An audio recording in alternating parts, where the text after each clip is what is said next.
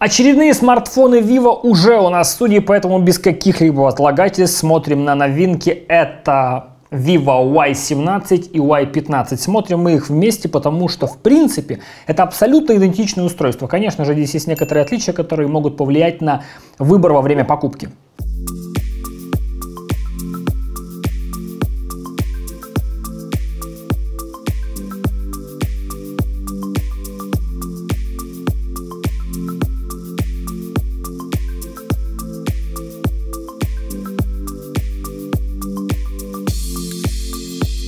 Комплект от Vivo обычно выглядит как для себя. Внутри обоих коробок вы найдете зарядное устройство, кабель microUSB, скрепку, документацию и очень плотный силиконовый чехол, который не износится за несколько дней, как это бывает у некоторых других брендов. И первое небольшое отличие коснулось комплекта поставки. В коробке от Y17 были вот такие вот наушники, вкладыши со встроенной гарнитурой. Конечно, не супер меломанское решение, но на первых порах для прослушивания подкастов, роликов на YouTube и просто разговорной речи пойдут.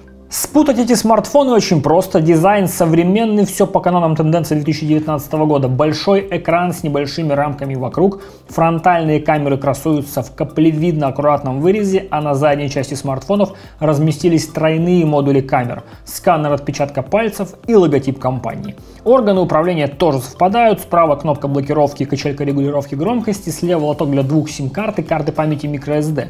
А внизу динамик, разъем для наушников и старый добрый microUSB. У этих смартфонов IPS-экраны с диагональю 6,36 дюйма и разрешение HD. С одной стороны, да, разрешение небольшое, с другой стороны, мы все знаем, что смартфоны с таким разрешением славятся своим энергопотреблением. Про энергопотребление этих смартфонов есть еще о чем поговорить чуть дальше. Об этом будет плотность пикселей 267 ppi. Здесь имеются режимы защиты глаз, режим чтения, ну, все, что нужно в современном смартфоне. За производительность Y17 отвечает процессор MediaTek Helio P35, а в Y15 менее производительный Helio P22. Такие решения хорошо проявляют себя в повседневных задачах, интерфейс работает нормально, да и большинство современных несложных игр идут на низко-средних настройках графики. Кстати, чуть не забыл сказать, оба смартфона поставляются сразу с защитной пленкой на экране. Теперь переходим к памяти. У каждого смартфона по 4 гигабайта оперативки. У старшей модели 128 гигабайт постоянной памяти, у младшей 64 гигабайта. С другой стороны, оба смартфона поддерживают карты памяти microSD вплоть до 256 гигабайт. Смартфоны работают под управлением операционной системы Android 9 поколения с фирменной оболочкой FunTouch Кстати, о ней мы довольно подробно рассказали в обзоре Vivo V15 Pro, поэтому рекомендую посмотреть это видео тоже. И вот сейчас я смотрю на оболочку Vivo, и мне трудно сказать, на что она вообще похожа. Есть такое впечатление, что эта компания совместила в себе вообще все возможные функции от разных других брендов. Здесь немножко есть и схожесть с Meizu, и Xiaomi. Некоторые виджеты похожи на iOS, кстати, очень функциональная штука. Открываем шторку снизу, и здесь у нас сразу вылазит огромное количество настроек, виджетов и прочих дополнительных плюшек. Оба устройства оснащены Bluetooth пятого поколения, Wi-Fi, GPS, все имеется. И вот основополагающая разница при выборе двух устройств – NFC имеется только в версии Y17. Y15 идет без NFC, поэтому здесь вы будете сами оперировать ценой и возможностями при выборе.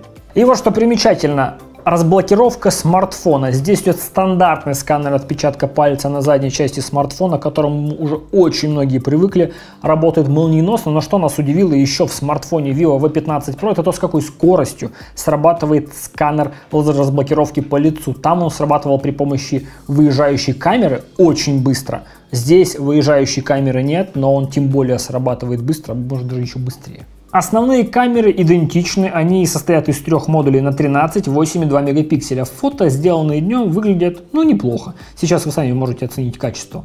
Максимальное качество записи видео ограничено форматом Full HD, оптической стабилизации нет, так что придется снимать аккуратно.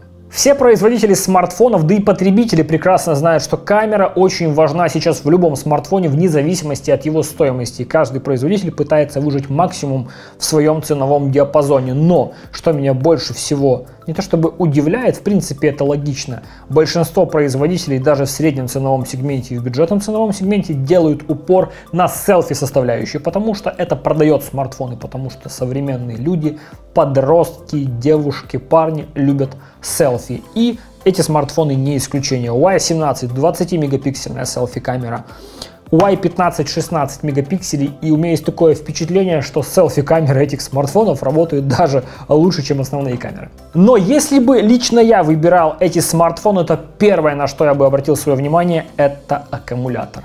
5000 мАч, что в этой, что в этой моделях, это круто, потому что 5000 мАч, кто бы что ни говорил, как бы там не оптимизировали железо и прочие вещи, до сих пор количество миллиампер-часов все-таки решает. И смартфоны с аккумулятором на 5000 живут дольше всех. Это мы видели и в Zenfone 6, и это мы увидим и в этих смартфонах. К тому же здесь несмотря на то, что здесь есть микро-USB, все-таки поддерживается какая-никакая быстрая зарядка. Но важное замечание, когда у вас аккумулятор на 5000 мАч, вам, в принципе, быстрая зарядка-то не нужна, потому что вы заряжать смартфон будете по факту ночью, когда будете спать.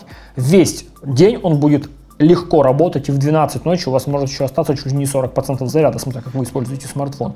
Поэтому, как бы, такой беспроигрышный вариант. Ну что, друзья, мы вам уже рассказали про смартфон Vivo V15 Pro, про смартфон Y17 и Y15. На этом марафон по смартфонам Vivo не прекращается. У нас еще есть в загашнике некоторые модели, потом еще новые подвезут. Поэтому мы будем теперь на регулярной основе рассказывать и про этот бренд тоже. Поэтому подписывайтесь на канал, нажимайте колокольчик, чтобы не пропускать новые интересные видео, не только про Vivo. С вами был Иван Лучков. Всем пока.